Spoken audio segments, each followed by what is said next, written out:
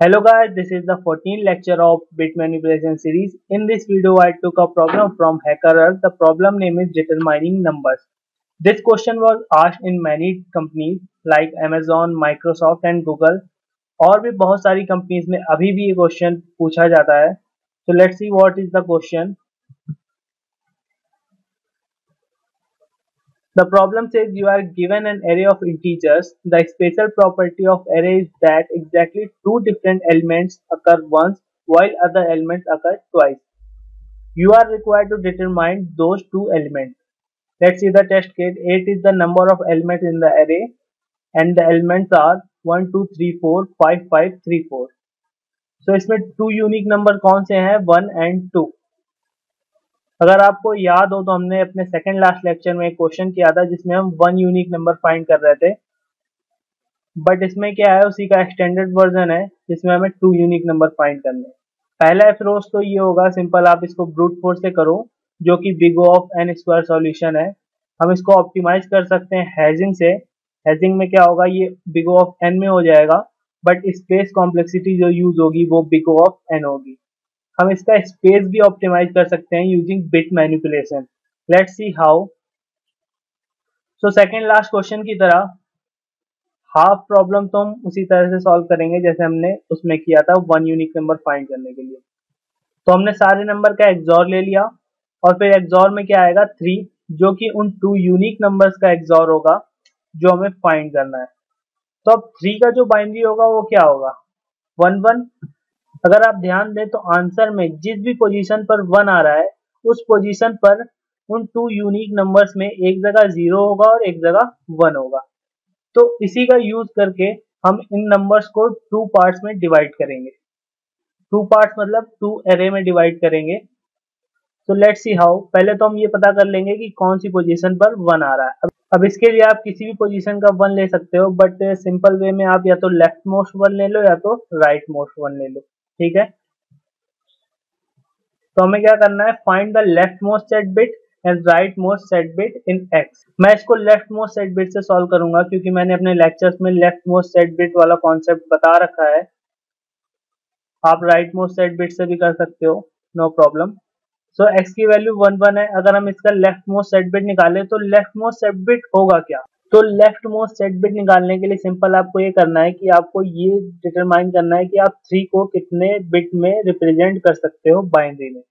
तो थ्री को आप टू बिट में रिप्रेजेंट कर सकते हो तो इसकी वैल्यू हो गई टू सेकेंड पोजिशन वाला बिट सेट होगा ओके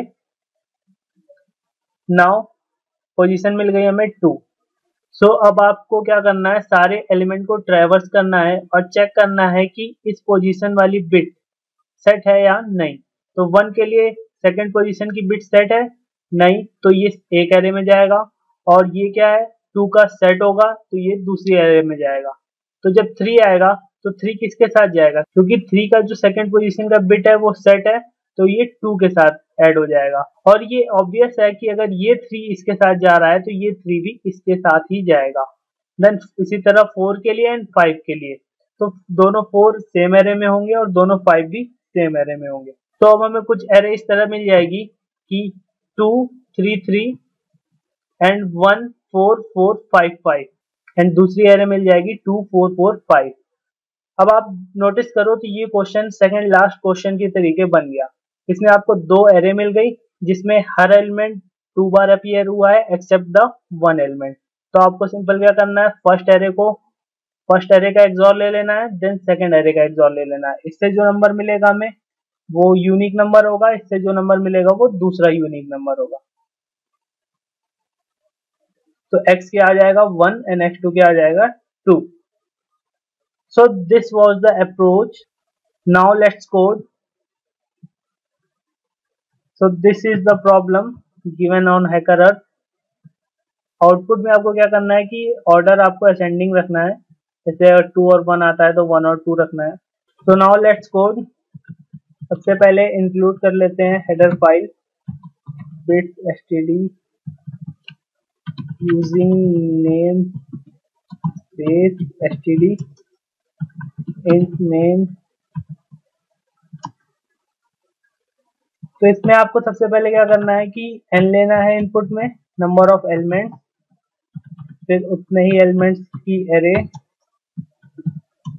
फिर एरे में इनपुट लेना है आपको।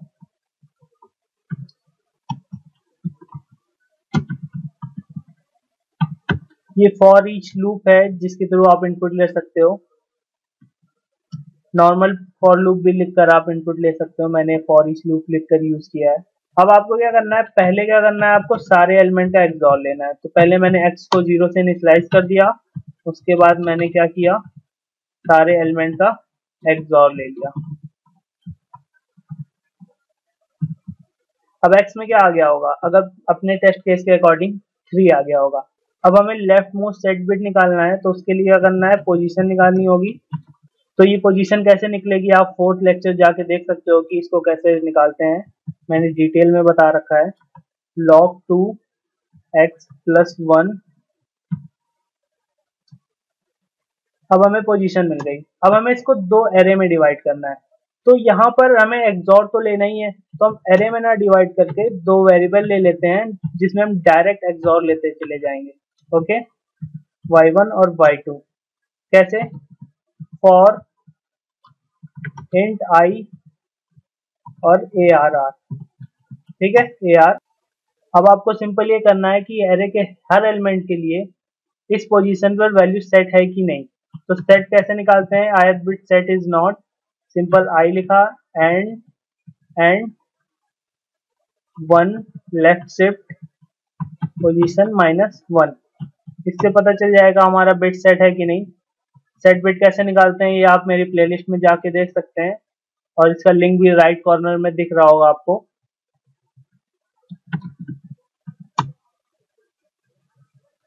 जब एलिमेंट सेट होगा तो हम क्या करेंगे? Y1 के साथ एग्जॉर कर देंगे।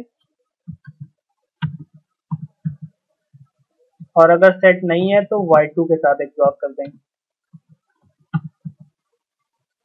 y1 और y2 मिल गया, अब हमें सिंपल क्या करना है? इनको असेंडिंग ऑर्डर में अरेंज करना है। अगर y1 बड़ा है, अगर y1 छोटा है y2 से तो सी आउट कर दिया मैंने y1 and y2 L C out कर दिया। अब क्या बड़ा होगा? Y2 and Y one okay submit करके देखते हैं। पहले compile and test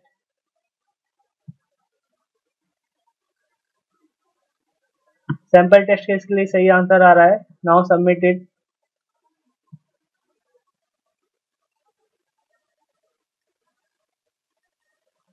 so we got the right answer. So this is all about this lecture. So, ये क्वेश्चन बहुत ही इंपॉर्टेंट है इंटरव्यू के पर्पज से.